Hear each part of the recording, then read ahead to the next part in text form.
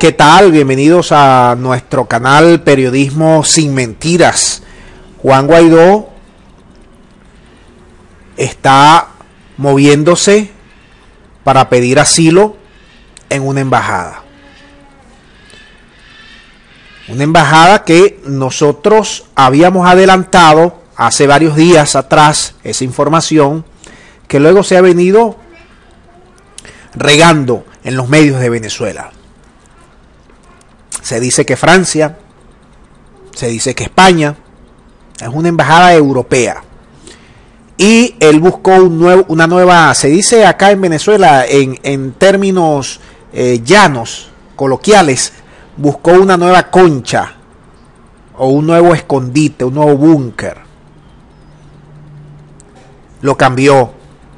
Después del fracaso de la operación, él se trasladó del búnker donde estaba para otro otro escondite. Y de allí envió unas maletas a la embajada, que repito, se está diciendo que Francia, nosotros no tenemos confirmación de, de cuál sería la embajada, pero es una embajada europea donde ha pedido asilo. Y la zona de su nuevo espacio es esta, no esta casa efectivamente es una casa referencial que se llama Lagunita Country Club, que es la zona probablemente más elitesca de Venezuela. Son estos espacios. Hasta allí habría ido a parar Guaidó en vista de que donde se encontraba no representaba suficiente seguridad.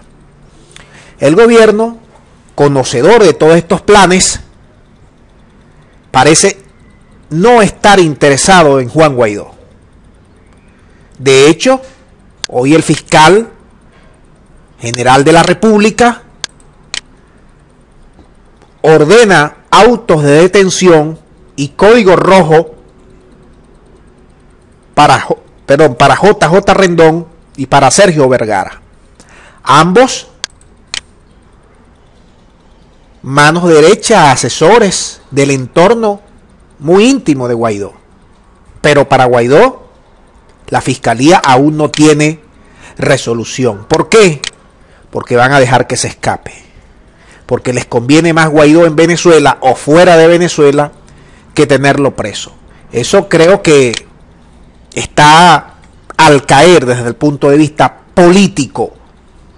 Desde el punto de vista jurídico, esa es otra cosa y Maduro lo sabe y cada vez que le han preguntado sobre este hecho dice que la justicia, ese es un problema de la justicia, que eso lleva su tiempo. Igual lo cuenta aquí este que estoy enfocando, el fiscal, el fiscal Tarek William Saab. Lo cierto del caso es que Guaidó tiene deuda con, con, con media Venezuela, tiene deudas con narcotraficantes, con Cliver Alcalá, con el, llamado cucutazo, con los Estados Unidos, porque los ha engañado. Ha engañado a todo este grupo, con Jordan Goudreau, con parte de la oposición venezolana, con los enfermeros, médicos y médicas de Venezuela que esperaban ansiosamente los 100 dólares de Guaidó, con los rastrojos, el grupo paramilitar colombiano, con más de treinta y pico de países de Europa. También tiene deudas.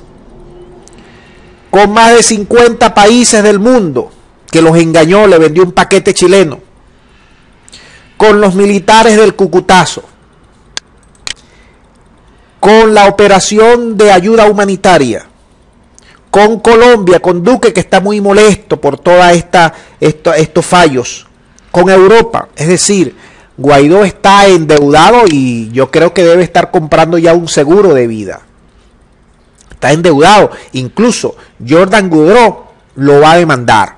Y ha amenazado, según se viene conociendo poco a poco, en la medida en que se van develando cosas y cosas y detalles, ha amenazado a JJ Rendón, no solo con la demanda, sino con otras cosas. Porque ese también está molesto porque apenas le dieron 50 mil dólares se metió un crédito bancario para costear la operación llamada Gedeón Y bueno, hasta los momentos, JJ Rendón, Sergio Vergara y Guaidó, que son tres de los más grandes pillos que hemos visto en los últimos años acá en Venezuela, se dejaron timar por ellos. Y también están muy molestos en el país del norte. Porque Guaidó los ha engañado de la A a la Z. Les ha mentido. Y tiene dos días que no aparece. Al menos en redes sociales. Directamente. No ha dado la cara en los últimos días. Hoy, cuando estoy haciendo este video, había dicho que tendría una participación, una cobertura mediática para efectivamente hablar de lo que todo este chaparrón se le viene encima. Hasta su, uno de sus partidos de apoyo del llamado 4G lo dejó solo, el, el partido Primero Justicia. Es decir, estamos hablando de una situación dramática para Guaidó que se está moviendo para ver dónde lo pueden resguardar. Anda muy temeroso. No se sabe si va a ir luego posteriormente a Estados Unidos pero lo que sí es claro, Guaidó se está movilizando para salir del país y Maduro no parece interesado en obstruirle la salida como no se la obstruyó el día que se fue a Colombia. Porque es un juego político. Y repetimos, al gobierno desde esta, desde esta óptica, desde esta perspectiva, le da muy bien que Guaidó siga cometiendo los errores aquí o afuera y que la oposición siga empleándose con Guaidó y que los Estados Unidos siga colocando a Guaidó como el estandarte de todos ellos. Vamos a dejar el video hasta acá porque yo quiero la participación de todos ustedes con miras a si Guaidó se va a ir o no se va a ir, que conviene más a Maduro, tenerlo aquí o tenerlo en una embajada o tenerlo fuera del país. Dame todos tus puntos de vista para seguir enriqueciendo este video. Muchas gracias y será hasta la próxima.